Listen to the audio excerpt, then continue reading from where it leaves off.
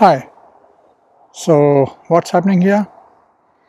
Well, I'm standing in front of a vegetable bed in my garden in front of a tomato plant along with pumpkin and a whole lot of potatoes that grew out of almost nothing. I never planted them this time. I, I had planted them four years ago and they kept on replanting themselves without any attendance from me on this bed and competing with the weeds and everything. And this time when I cleared the weeds and cleared the ground and planted some more vegetables, the potatoes came back up. So I didn't have a heart to kill them.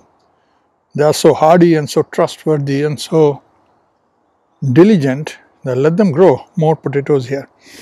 Behind me another potato bed. I have five potato beds not counting these uh, this uh, unplanned ones. But that's not what I came here to talk.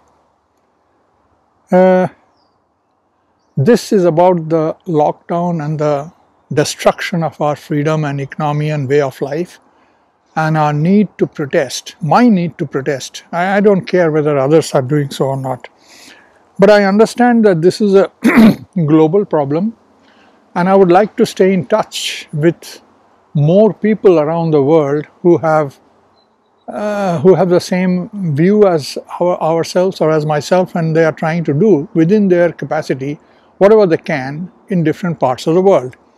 So to start with in British Columbia I have attended multiple protest marches in uh, downtown Vancouver uh, along with Pietro and uh, Susan and I have also attended twice on Saturdays in Surrey, BC. I intend to look further. There, there is one going on in Vernon, which is like four hours away by drive, and in Kelowna also almost uh, equal distance. Uh, those are a bit further away. Victoria is uh, a boat ride away and a whole day affair to go and come back. Uh, there is also one in Abbotsford, which is about about an hour away, I'm thinking of going there to meet some new faces and new people and and uh, reconnect with more folks in the same in the same uh, struggle. But going further afield, I'm talking. I'm going to be talking to a friend in Australia. Uh, she is almost 15 hours ahead of us, uh, and they are also engaged in uh, protest against uh, forced vaccination and so on. So uh, I intend to check up with her as time permits and, and also looking to make contact with uh, like-minded folks in maybe UK and uh, elsewhere in Europe. And there are also lots of people uh, in the rest of Canada outside of BC. Uh, what's going on in Manitoba is horrible because uh, in Winnipeg the the people who protested are being, I believe, are being threatened uh, by by officials coming to their home and giving papers of warning uh, and that they will be if they, if they again congregate and stay closer than uh, six feet and, and don't wear masks and so on they will be fined and given a 200 or 250 thousand dollar or 40 thousand dollar whatever huge number of uh, huge amount of uh, fine uh, for uh, breaking the law and so on. I find this absolutely horrible Gestapo style, if I am ser served with such uh, such uh, fines, I shall publicly burn them because it's a, it's an illegal law and when you are faced with an unjust law, it becomes our duty to to, to, to defy it and I'm willing to go to jail. I, I, they will have to pin me down because I need to show my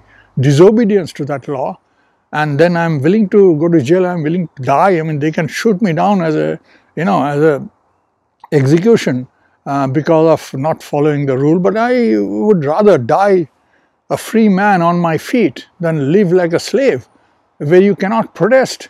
I mean, this is this is this is too much. So anyway, I am in the effort and quest for meeting up more people who understand that it is not COVID, but our freedom that is at stake.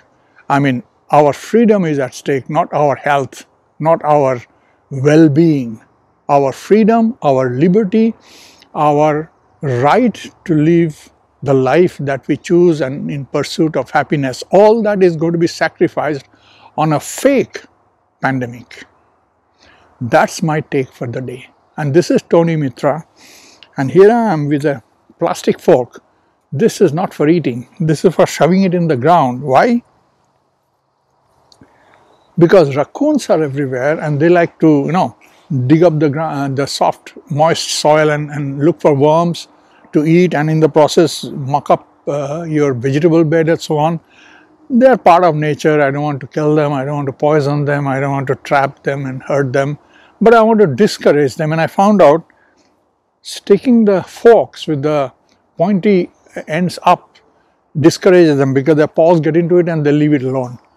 And then you can buy a box of uh, these plastic forks or just a dollar or two and and you can have four or five boxes and stick them everywhere and then at the end of the season you pick them up, wash them and put them off, put it up in a bag for use next year. So that's what these are for and that's me done my talking for the day. Thank you.